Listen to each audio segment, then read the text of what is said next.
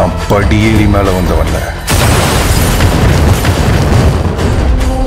எதிரிகளை மிதிச்சேறி மேல வந்தவன் நீங்க கவர்மெண்ட் வேலை பாக்குறீங்களா நான் ஏஜிஆர் வேலை பாக்குறீங்க